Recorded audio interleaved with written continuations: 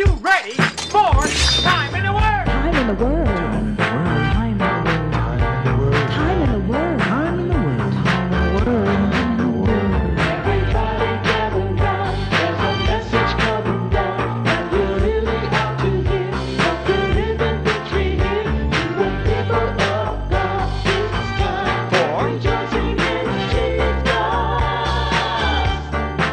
Welcome to Time in the Word, presented by Rejoice in Jesus Ministries, an on fire Bible centered teaching ministry based in Los Angeles, California, with outreaches throughout the United States, stretching from coast to coast. Join us now as Pastor Chester C. Pipkin Jr.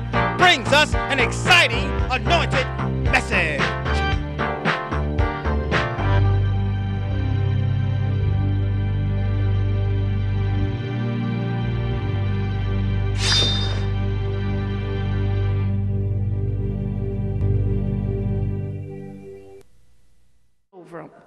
But you got to learn to trust God. Amen. Are you listening to me? Time is running out. We got to quit complaining, quit moaning and groaning, and get with it. Right? There's souls dying all around us, honey. And my passion is to win the lost. And I haven't really talked to you as much about, and oh, I can tell you so many more miracles God has done for me.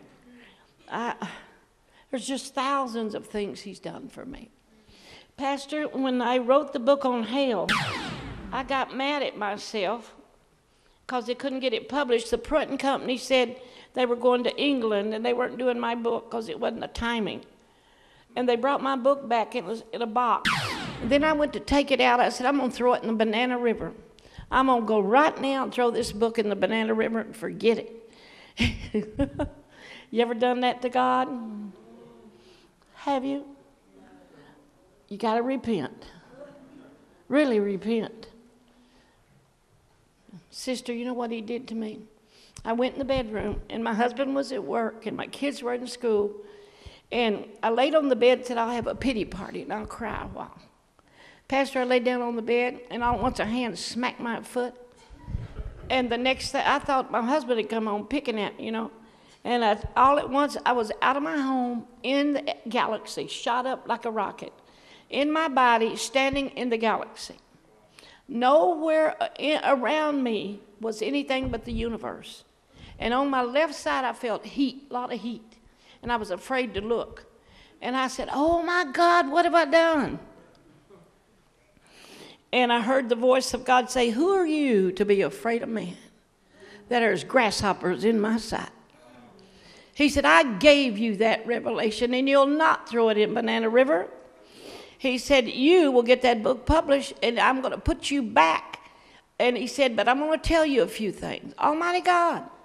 And he said, uh, Behold on your left, but I couldn't look. It was, and I finally turned, and you know, David said he saw the jaw of God like iron.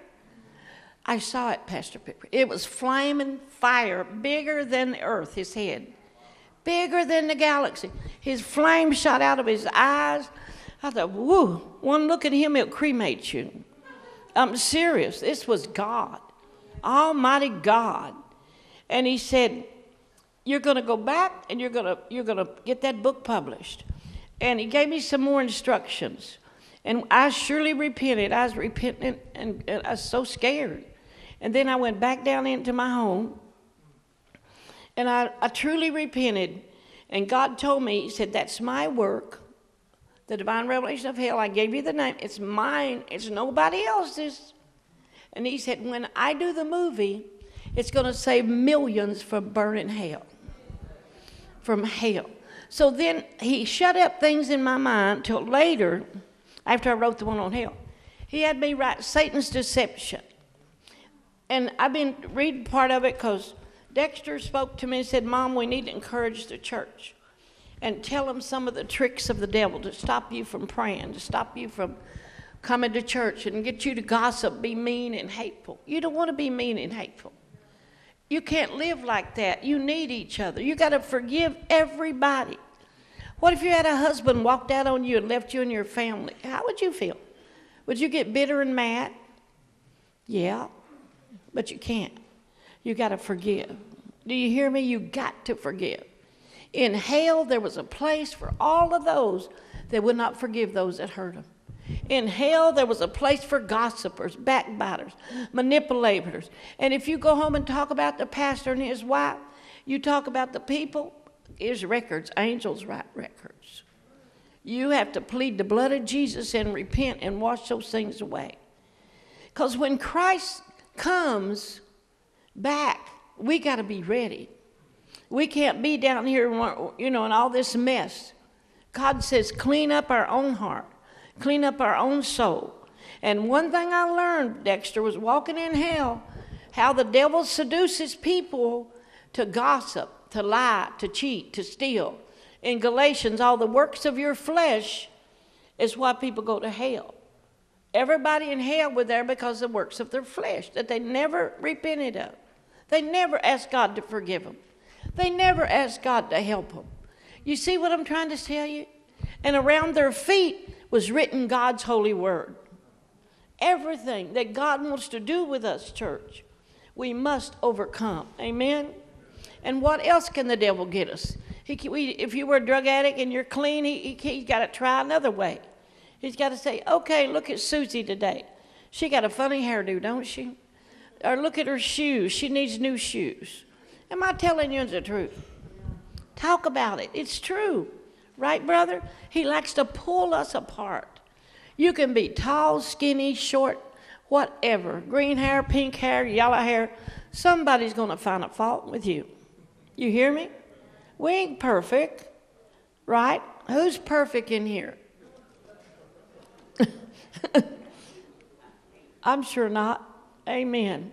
But I want to explain something to you. God is faithful. He is so faithful when He calls you, like Pastor Pipkin. He saw him and he said, Hey, I want to make him a great leader with my children.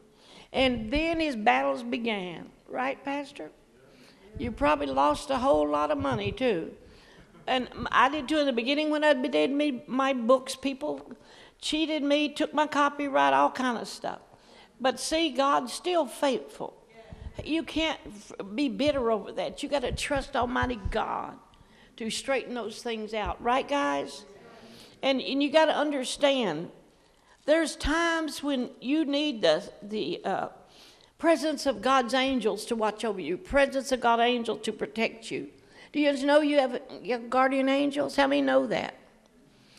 How many know it? We have angels that save us from car wrecks, angels that go before us. Um, many times when we go traveling, I actually see the angels in front of the traffic straightening it out, like parting the Red Sea, especially over here. You have so much traffic. It's a thousand wonders. Dexter's a race car driver. And if you get in the car with him, you better pray. Pray, pray, pray. And hang on. well, Dexter, I know a lawyer that's worse than you, honey. This lawyer, a friend of mine, one time I was here preaching, and God moved in the service and gave his son, uh, filled his tooth. It was with silver because he'd had them fixed and they bumped, and God fixed his son's teeth, fixed the silver. And so we were in his car. He said, Come on, Mary, we're going to go over here, and I'm taking you to this church. There's a lawyer here in California. And what happened, he got on that little side dirt road there that's by the side you're not supposed to get on. He got on that and went everywhere. I said, Oh my God. I was hanging on for dear life. I said, He said, Don't worry, Mary, I know the police. That said, It'll be all right. He said, I said, How many tickets you going to get? It was a mess, boy. And did some of you guys do that? Look at them, look at them. Yeah, you do. Yeah. Yeah, yeah. We, it is his job here, it? we need to be have helicopters, right? Take us to church. yeah, I mean it is really a driving. You better get ready to go two hours, right? To go 20 miles, children. Yes, except with Dexter. you think? Now I'm going to give you some scriptures, okay? But I want to tell you something too. These books I wrote, we have them available after service with credit card or cash. And in cards you can order online. And but this book here is about what angels do. I think it was like 11 years God showed me what angels do in services. Like, say, Pastor Pipkin's going to pray for somebody that has maybe uh, soreness, cancer, or something. There'll be an angel come by him. And as he goes to pray for that person, the angel touches that person like he does. And the fire comes out of the angel's hand and burns up that disease. How many of you feel real hot when you get prayer? How many? How many? That's the healing power of God. And he showed me how when someone gets saved, born again, what happens. And it's, it's a long story, but it's in my book on, I think, the one George Bloomer and I wrote. We wrote this in, yeah, Divine Revelation of Deliverance. George Bloomer and I did that. And it talks about certain things that George saw. George Bloomer? Anybody know about George? No, he's a great man of God. And um, he actually saw how to pray for people with Alzheimer's. Yeah, it's in this book. He wrote about it. Yeah, how God took him into the heavens and showed him how to pray. Yeah. So different ways to pray. But there's something here I want to talk to you about real quick. Hallelujah. Let's bow our heads. Father, we thank you and praise you for this wonderful service that you're going to bless the people. They're going to be have their ears open, their eyes open to really enjoy the presence of the King. And I ask, Lord God, for the power of the Holy Spirit in Jesus' name to come now and to flow about us and encourage our hearts, God. And that all these hard trials, God, become as nothing because you're greater than all these trials in Jesus' name. Amen. Amen. When, when you, um, also heaven, there's lots in there about heaven. But I want to tell you something in the deception book, because Dexter told me to tell you this. When Satan comes, say you're going really good, smooth, no problems, nothing's wrong, right? You're happy, right? And then you get a call from somebody in the church that's in this book here. It tells about how the devil deceives us, seduces us. And maybe you were delivered from being a gossiper. How many were delivered from being a gossiper? Amen. And a hypocrite. Who's hypocrites in here? You got to listen to me. It happens. These are serious sins. Because uh, if even me and Marcel, we'll be talking. I said, Oh, Marcel, we got to pray for that person. We ain't going to be criticizing or hypocrite, or we'll get in trouble with God. And we fear God. We really fear Him. Because when He puts His holiness within inside of us, he, it's like a treasure. Do you know that? How many know that? When God imparts to you His power of His Holy Spirit, it's like a treasure. And that blood, Marcel, bring me that communion cup. The blood that Christ shed for all of you and me, that our sins would be washed away by the blood of the Lamb. Thank you, honey. You see this communion cup? That means the world to me. I'm telling you, I had a vision when Christ was crucified. Every drop of blood that came to the ground, angels wept and picked up the blood. Every drop. And took it to heaven on the mercy seat. At 10,000 angels, sister, it took. This precious blood was shed that if we were a hypocrite, we could repent. If we were a gossip, or if we were trying to tear down the church, or our friends, or our family, the Holy Spirit would say, I shed my blood. Jesus shed his blood to wash away our sins. How many of you have been to the cross and repented of your sins? How many? Raise your hands. How many times have we been there and we go through the battles, right, brother? God has a way out for every one of us. You may have to go to that cross a hundred times a month. You may, right? To repent of that. Someone run you off the road. Do you ever say those bad words? And you thought they were buried, right? Right? We've all done it. But we got to repent. Quick as we do it, repent, children, okay? This is serious. This blood that Almighty Jesus shed has never lost its power. Never, never, never has the blood of the Lamb lost its power. You can plead the blood of the Lamb, Pastor, in your church and around your home, and there's a red fiery wall comes up and around. Said, I will be in Isaiah. I will be a wall of fire round about you, and the glory in the midst. And in all the glory, there will be a defense. Amen? I was in the hospital, I had years ago for something, and I looked up on the wall, and there was the red glory of God, and then I saw inside the red, there was a fence like a chicken wire. And I said, Wow, Lord, that's funny. He said, In all the glory is the defense of the enemy. He cannot cross that fence. That's right. But you got to fear God and love God and be humble and kind. Amen?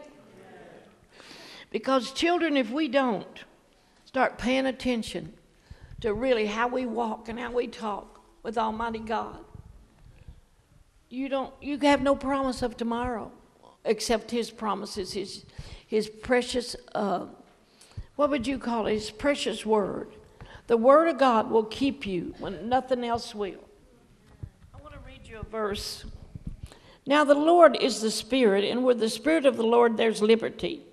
But we all with unveiled faces behold as in a mirror the glory of the lord are being transformed into the image from glory to glory just by the Spirit of the Lord. That's what's going on with us.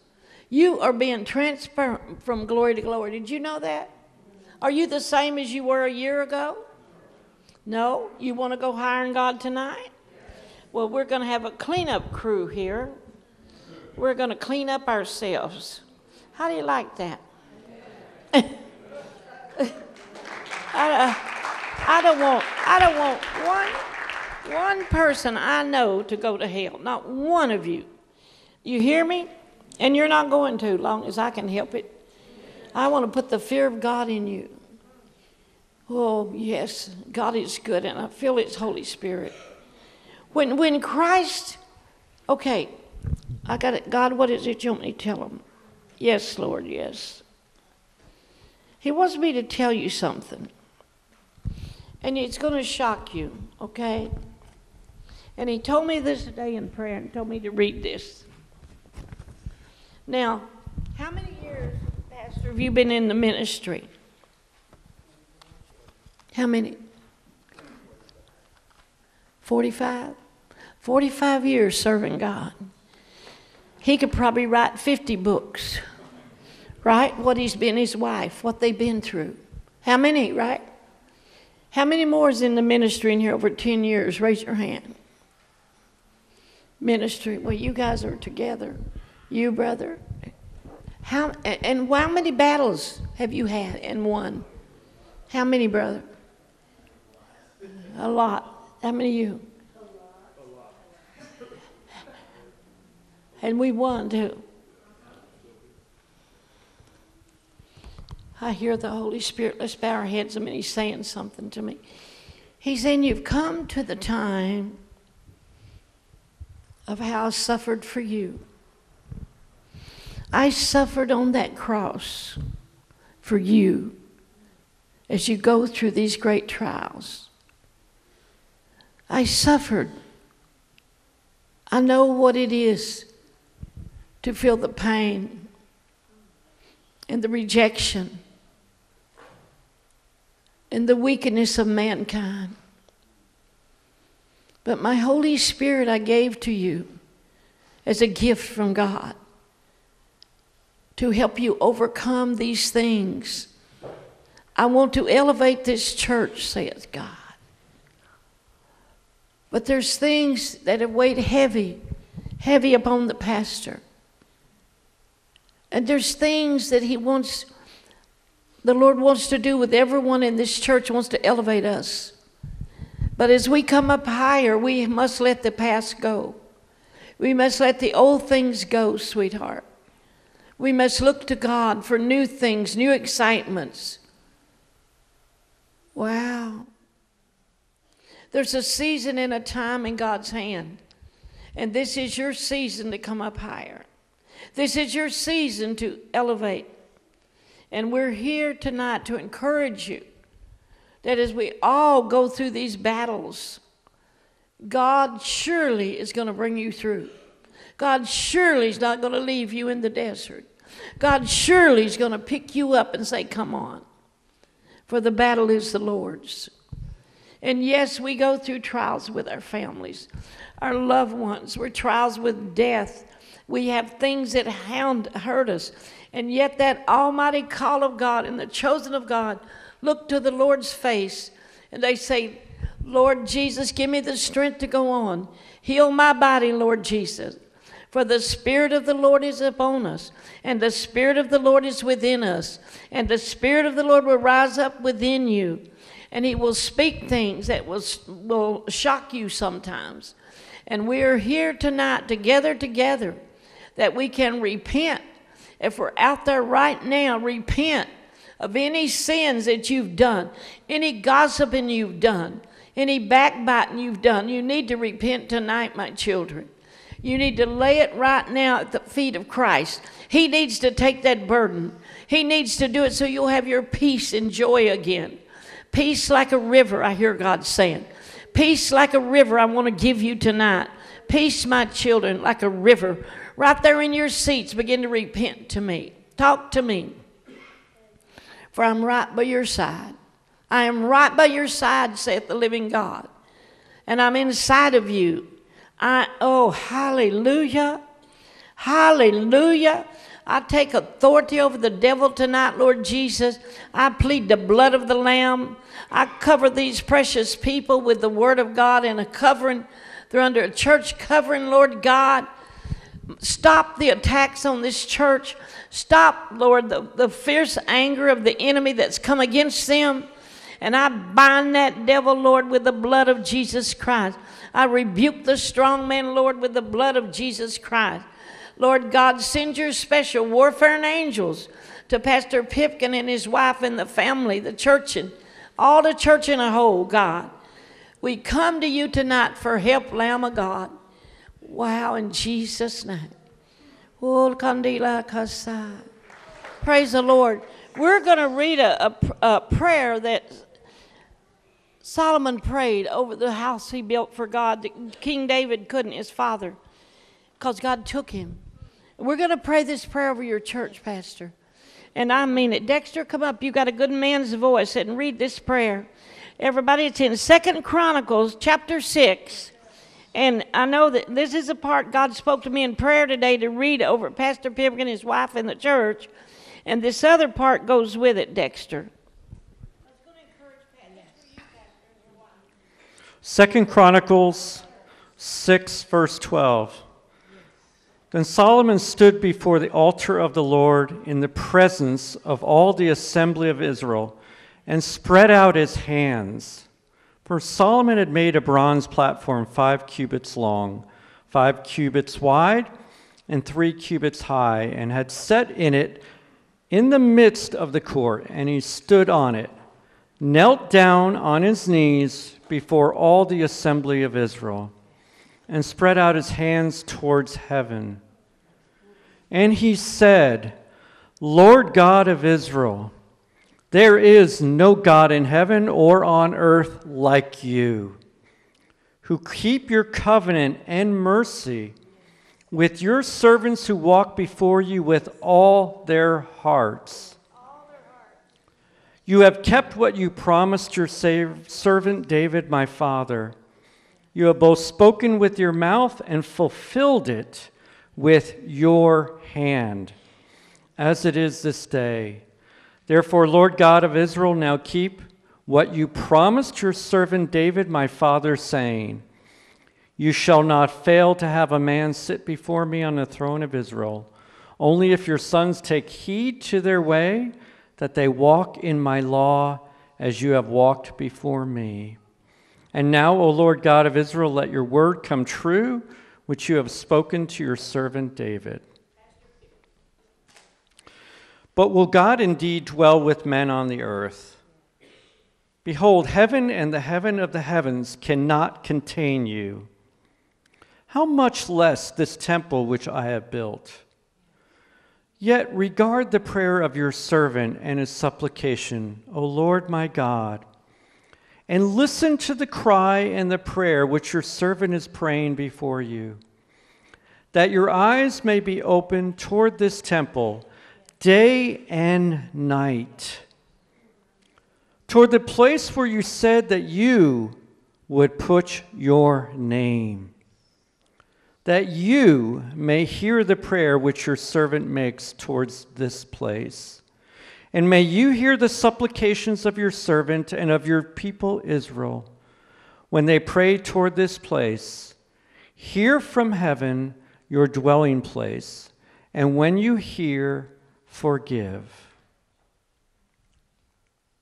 We have to realize we need one another. You can't do it alone, brother. You cannot. You need unity, you need love. And if one of us falls, let the other pick them up, right, guys? We have to understand that the Lord said, Your prayers are memorial unto Him. In heaven, there's a memorial of your church's prayers. And a lot of the heartaches and sorrows you have been going through, God has given you a promise, hasn't He? Hasn't He? All of us have promises, right? We haven't received them yet. God said to us, Tell my people, my promises are true. Tell my people, it will be work. God's going to keep His promises. Right, guys? We would like to send you a tape of this entire message. For any donation of $5 or more, we will send you a CD.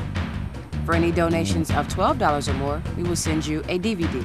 Please write to us at Rejoice in Jesus Ministries, P.O. Box 47775, Los Angeles, California 90047, or call 323 Rejoice. Please mention tape offer number TITW 1375. That is tape offer number TITW 1375.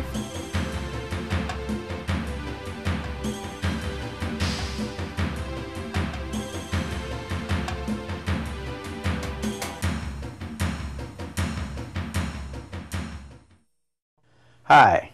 You know the Bible says that all things are upheld by the power of this word.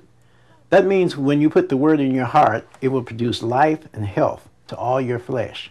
It will also produce faith so that whatever you come up against, you can overcome it.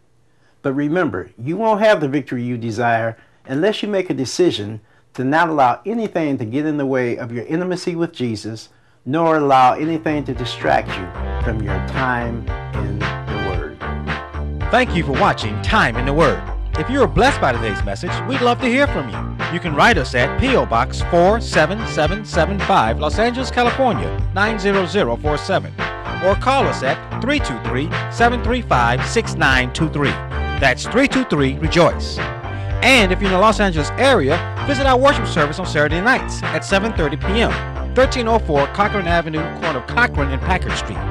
And again, thank you for watching Time in the Word.